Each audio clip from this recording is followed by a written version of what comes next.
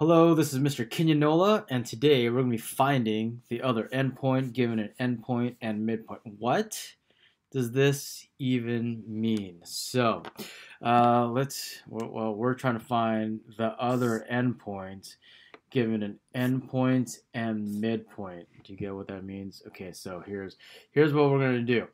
Um, here's the situation. In the previous video, you had two endpoints and you had to find where the two friends would meet in the middle. But so in this video, you're given u, let's say at 4, and the midpoint is at 6, and you want to know where your friend would uh, would start off at to meet you at six. So here's your starting point. Here's where you would end up. Where's your friend at right now? Because you're standing there. You're like, we're supposed to meet here. Where's my friend at? Uh, so uh, four, endpoint is six. So where's that other endpoint? So if you could just look at it, it's two inches this way. So two inches over there would be eight. So the answer, that other endpoint would be eight. You get the situation? Let me give you another example. So let's say your friend, uh, you are at five, and you said, hey, we're going to meet in the middle, which is at eight, but your friend is lagging, is taking a while. Where's my friend at? Well, the distance from you to the meeting point, the midpoint is at one, two, three inches. So another would be one, two, three inches would be at 11. So from 5 to 8 and 11. So the distance between those two are the same. So your friend would be at 8. Let me give you one more example. So just so that you understand the situation. Uh, let's say here, 10. And um, you're meeting up at Ooh, 7.5. That's where you're at right there. Where's your friend at? So what's the distance from 10 to 7.5? It's one, two and a half inches. And you want to go two and a half inches this way to find your friend because it won't be here because it would be with you. So half, one, and two would be at five. So if you're if you're here your friend is here. The midpoint would be at 7.5, so your friend is starting off at 5. Okay, so there's a situation. You're given you, the midpoint. Where's your friend at? Where's that other endpoint? But the tricky part is it's not on one ruler. It is on the coordinate plane like this. So find the other endpoint of the line segment with a given endpoint and midpoint. So if you remember the formula, it is x1 plus x2. So the x value of the first endpoint, the x value of the second endpoint, and we find the average is equal to the x value of the midpoint, comma. The y value of the endpoints plus the y value of the other endpoints, you average it, is equal to the y value of the midpoint. There's that formula. Okay, so we have to know what, what we're going to plug in. Where are we going to, where are we going to um, substitute into what? So here's a situation. Here's an endpoint, 2, negative 2. So where's 2? And here's negative 2 right here. Uh, so there's an endpoint. So we're going to call it EP1. That's endpoint number 1. The midpoint is at 0, 1. So here's midpoint. And if we connect that, what's up? Where's where's that other endpoint at? So I'm going to show you guys two ways. I'm going to show you one way, which you for um, we're going to start off with the challenging way. Well, the the way that takes a little more steps, and I'll show you um, the why didn't you just show us this way first time? Okay, so uh, the challenging way is using this formula. Okay, so our endpoint. Uh, is at 2, negative 2. Midpoint is at 0, comma 1. And so we're going to substitute these values into here. Uh, so our, our, mid, our first endpoints, x value is 2. So we're going to put that in there. 2 plus, remember, this is the other endpoint's x value, and that's what we're trying to find. I want to put a question mark. We don't know. So we're going to leave that as x2 over 2, because we want to, in order to get the midpoint, we average it, and the x value of the midpoint is 0, so equals 0. And how do we get this? How do we get x2? Well, let's put that invisible 1 under anything, and let's cross multiply. 2 times 0 is 0 is equal to 1 times this is just the same thing because 1 times n number is the same, so 2 plus x2. And then we're going to subtract the 2 from both sides. So the x value of the other endpoint is negative 2. And we're going to do that the same with this to get the y value of the other endpoint. So uh, the y value of our first endpoint is at negative 2 plus y2 because we don't have the other um, y value for the other endpoint. That's what we're trying to find. Duh. So we don't have it. Over 2 is equal to the midpoint's y value, which is 1.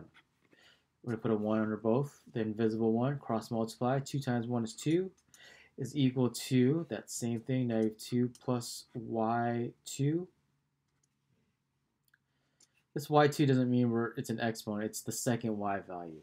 And we're going to add 2 to both sides. And so 2 plus 2 is 4. So the y value of the second endpoint is 4. So our final answer would be negative 2 comma 4. So how does that even look like on our graph? Well, let's take another color. Two, negative 2, 4. So Let's plot that negative 2 and up 1, 2, 3, 4. And let's connect the dots. And look at that. It's a perfect match. So, um, how do you know it's a perfect match? Because it looks like it. Other than that, let's let's actually measure it. Let's draw a right triangle. So from here, one, two, and up one, two, three. So and then from here, we go down 3 over 2.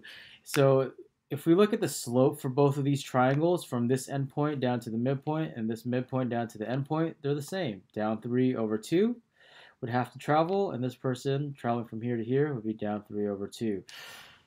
So we know that this is really correct. Negative 2, 4 is really the, the coordinates for the other endpoint. So there you go. Uh, the first way, algebra way, using the midpoint. Other way, draw some right triangles to get the other endpoint. So let me give you another example both ways. I'll do the quick way and I'll do the algebra way. So the thing about the algebra way, so the the quick um, graphing way is deceiving because it only works if your graph paper is big enough. And so this works uh, nicely. So that's 6, 2. So our endpoint is at 6 up 2. So here's our endpoint, which is 6, 2. And I'm going to grab a different color because it's kind of light. So endpoint, uh, that's better, 6, 2. And our midpoint is at 1, negative 3 right here. So our midpoint is at 1, negative 3. And so here's a, the quick way of doing it. We would draw a right triangle, and then we would draw a, a congruent right triangle to that. So again, with that example of your friend, you and your friend. So here's you, and you want to meet your friend in the middle, and this is already the middle you could either go from here straight to there, or you can go from here. So one, two, three, four, five to the left five, and one, two, three, four, five, down two. Um, or go down five, three, four, five, left five. Okay, and then do the same thing. Move to the left five, one, two, three, four, five, and then down five, one, two, three, four, five. Make sure I counted that right. Three, four, five. One, two, three, four, five. So I drew an identical triangle to this. Remember, midpoint is an equal distance from you and your friend. And this is where your friend would be at. So the other endpoint would be at negative 4, negative 8. That's the quick way of doing it. And it works because our graph paper is big enough to fit all this. Um, but let's say you have some gigantic numbers. And here's the algebra way.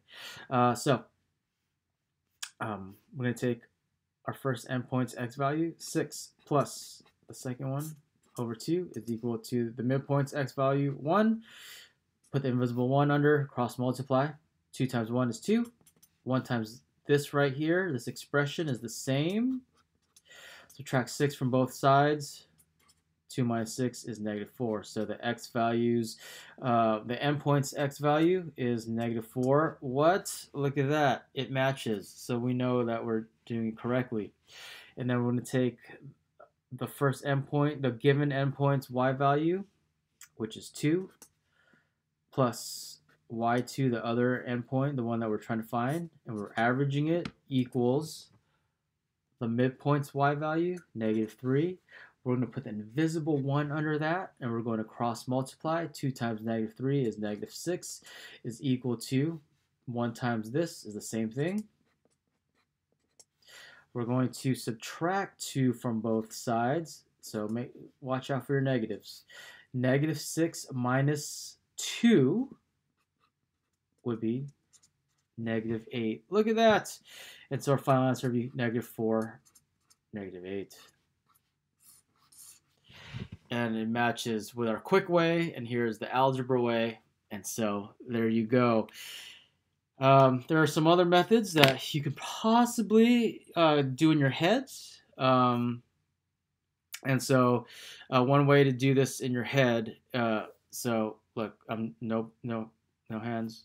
So as you take this, you look at the six and the one, and you find the distance between six and one.